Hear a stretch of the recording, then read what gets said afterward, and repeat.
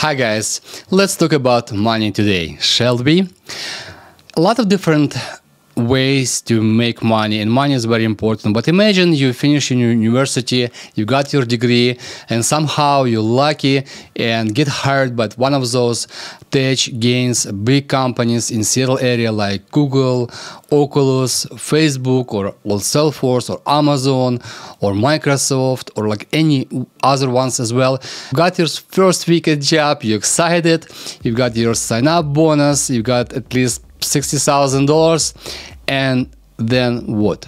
most people talking about investments in the stock market because stock market it's a very traditional way to invest this money but if you invest in the stock market you have to understand stock market very very well because stock market it's a roller coaster trust me. Uh, i do investments in stock market as well besides real estate myself. I'm real estate broker and i'm real estate investor. But in stock market you guys know what's happened last week when Zillow was announced they're going to be sell 8000 home in texas Texas, uh, Alabama, Florida, Arizona, and um, 8,000 homes they're going to be put it in the market and decide to quit this flipping business. And right after this announcement, Zillow stocks plumped almost 50%. It's crazy. That's why I told you guys, stock market is roller coaster. You guys know what's happening with Nvidia on Friday. Last Friday, Nvidia jumped 15% for like no reason and dropped down 15% again for no reason. Imagine you buying uh, stocks went on a high and just dropped down, back down, and just like you're gonna lose a lot of money in the stocks. I just heard uh, right after market was closed this Saturday, like yesterday. Elon Musk announced they're going to be sell off 10% of the Tesla stocks. What's gonna happen tomorrow on Monday? I'm sure next week Tesla stock gonna be plumbed down a lot. And a lot of people bought stocks. Tesla about over twelve hundred dollars right now, but again, like if you invest in the stock market and you got the sixty thousand dollars, that's very risky investments. But again, for example, you're lucky, you invest in a very stable stocks like Microsoft or ETF funds, and if you guys have like sixty thousand dollars and you invest in good stocks and you can make 10% a year year over year. So you're probably gonna make about $6,000 on your investments. That's very very traditional way to make money. But another way to make money invest in real estate. And i will explain you what the leverage means in real estate investment. If you have same amount of money $60000 and you decide to buy a house and uh, by the way, if you just got a job and finished university or college, and you just first week on a job, you don't have to wait for one year to get employment history. You basically can buy house as soon as you got your first paycheck because uh, those two years of your college time will count as you working, and you basically can buy a house with a, as soon as you got your first paycheck. So you decide to invest this money, $60,000 you have to buy a house. And as an example, I'll show you the property on the market today in Kirkland, Washington, house, three bedroom, two bathroom, smaller home, like 1300 square feet for $550,000. So you can invest this money in a property and if you invest $60,000 in a property, you can put 10% for down payment, about $55,000, and maybe use $5,000, additional 5,000 you have from the 60,000 you can use for your closing cost fees. Closing cost fee can be different. If you need to help with lender, call me. I will hook up with a great lender who can help you to get with lowest possible closing cost mortgage for the property. When you buy the property like this, house in Kirkland on the market as of today, and today I'm recording this video, house on the market, but probably not going to be on the market when this video going to be posted because going to be selling probably for a little bit higher price than the listed right now.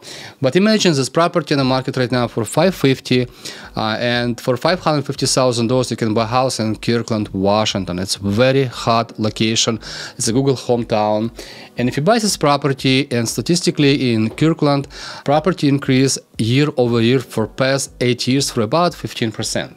So if you invest $60,000, uh, your investments, your $60,000 chunk going to be increased 15% on, on $550,000 house. Sketch it for you. Your property going to be appreciated for 15% invest 60,000, you get $82,500. But you're gonna ask question, wait a minute, Oleg, you got to pay mortgage for this money, right? So if you if I get a loan like 495 and for this for 495,000 dollars loan, I have to pay mortgage payments. That's correct, right? So you have to pay like about approximately $2,400 a month for 12 months. And that's going to be equal $28,800. But again, if you get like $82,500 and subtract your mortgage payment for $28,800, 82,500 minus 28,800, that's going to be equal to 53,700 dollars that's what you're going to make net gain if you invest $60,000. You can invest $60,000 in stocks and make $6,000. You can invest same amount of money, $60,000 buying property, which can gain about 15% a year. And, and you can make like net uh, gain $53,700 in your investment. So you guys can see you almost double your money within one year if you invest in real estate. Even even if you not live there and even if you not rent the property. But imagine you decide to move in Florida or Texas or anywhere else, decide to rent this property, and you guys know like a average uh, three bedroom, two bedroom home in Kirkland right now for rent for about twenty eight hundred to three thousand dollars a month. And let's let's say you can rent this house for twenty eight hundred dollars a month. With this scenario, if your mortgage twenty four hundred dollars a month, you will have four hundred dollars a month passive income, positive cash flow, and somebody else, tenants, going to be pay your mortgage. In this case, your $60,000 investments going to be increased not $53,700 a year, going to be increased $82,500 a year. That calls leverage in real estate investment. You invest only small chunk of money, let's say 10% for your down payment to buy this property. And with 10% down payment, by the way, you can get investments property as well. You don't have to put 20% down payment to buy investments property. I know some lenders who will provide you loan with 10% of down payment. And if you guys need information, reach out to me. I will give you those contacts and those lenders. That simple scenario, what you can do with one home. But if you invest in real estate, you understand this is just one house and you can buy 10 different houses. You can repeat this scenario over and over and over again. Uh, if you buy your first house, keep this property for about two or three or five years. You can call me, I will do evaluation for you. And if you see like your assets, your net worth is grows with the property, you can pull uh, calls home equity line of credit. It pretty much doesn't cost anything for you. You can call to BCU or any credit union, and they will give you 80% from your equity, which you can get as a like credit card and you can use it anywhere you want. If you got this home equity line of credit, what you can do, you can buy your second home, same way you can put a down payment, uh, you can renovate it, you can rent it, this property out, and again, with the time, your property going to be appreciated and you're going to be continue this game and create your financial wealth your financial future but very important in this game also not just to invest anywhere, very important to invest in good location where property is appreciated because appreciation is a big bonus in this game. Property is not appreciated equally everywhere. People ask me a good questions, oh like why real estate property is appreciated year over year. So in general, uh, if you guys take any house in our locations in Washington State, the houses appreciate for last 70 years in average about 6% a year. But some years they appreciate more, like 15, 20%. Like this year, for example, Bellevue appreciate for about 20%, Kirkland appreciate for about 20%. But if you take this Kirkland area, like for example, Kirkland, seven years, the property appreciate between 15 to 20 200% year over year and over year. And reason for that, I can tell you guys three main point why property appreciate. First one is inflation. Inflation, as you guys know, it's a good for economy. Government try to stimulate inflations to make sure prices grow, real estate prices grow, stocks grow, and economy is healthy. And uh, inflation usually about two to three percent. But this year it's 5.66% for last couple months. When inflation is rising, stock market is dropping. And when the stock market is dropping, people try to relocate money and invest in some hedge against inflation when they can be like secure. Whatever's happened with the market, they're gonna get those investments for secure for some time and in the future if they need to sell those assets they can they're able to sell it pretty easy. And real estate it's a great assets great investments because it's sellable because it's high demand and because very difficult to build a house. Builders uh, wait for years uh, to get constructions permit. Uh, very difficult uh, to find a land to build house to develop this land just development for any land like raw land take about couple years just to do it. This is very very difficult difficult and very long process. That's why real estate is in very high demand and very good hedge against inflation. And another reason why property appreciate because we have simply supply and demand. High demand for real estate and very low supply. And third reason why prices growing in our area because employment. Employment it's huge. Also, I want to show you guys this great article from GeekWire. Bellevue boom, city tech industry is posed to eat Seattle's lunch. And they're talking about big uh, tech gains like from Silicon Valley, realized Bellevue long time ago and then moving to this location.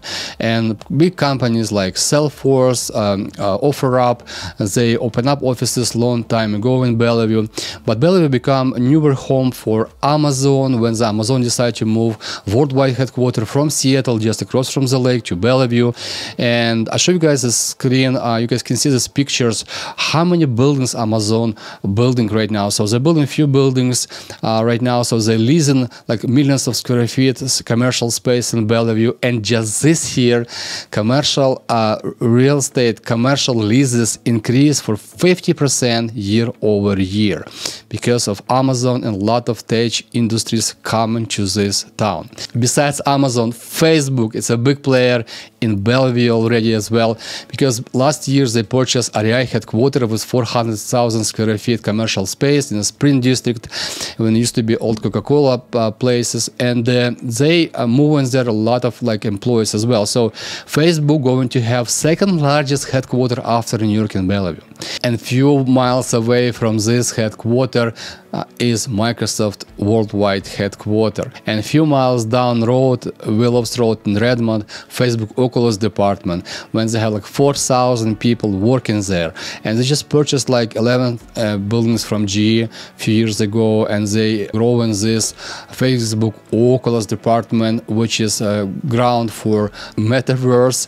Metaverse is like new word for me, but it's like very popular word right now, and you guys can see a lot of articles about metaverse nowadays. In this location, prices going to increase in real estate and we have a lot of opportunities to grow until those tech companies develop those buildings. My projections prices in kirkland bellevue redmond and near them issaquah and sammamish going to be grow for uh, next three years until 2025 because infrastructure has to be built for those tech it companies. They uh, move into the area and this area looks really really small.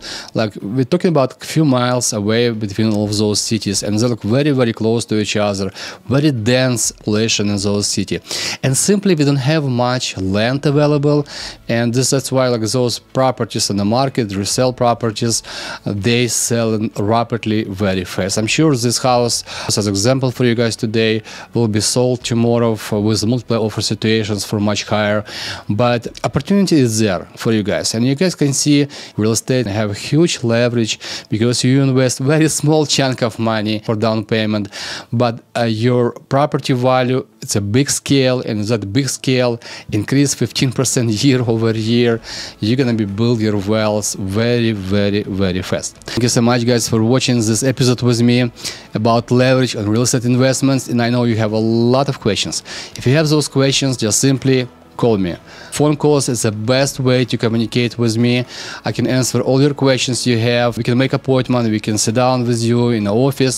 I will explain your options, your situations, what best for your family. I hope I will give you good advice and will be great real estate resource for you.